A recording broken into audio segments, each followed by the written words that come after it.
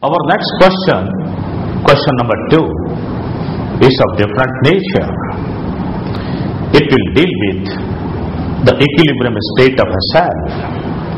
The question is, you are given at 298 Kelvin E naught Cu2 plus oblique Cu equal to plus 0.34 volt and E naught Ag plus oblique Ag equal to plus 0.812 volt.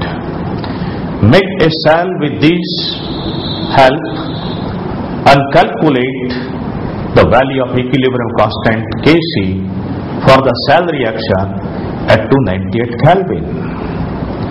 Let us solve this question. Since SRP of Cu electrode is lower, hence it must be anode and therefore the cell becomes Cu solid Cu2 plus aqueous 1.0 amp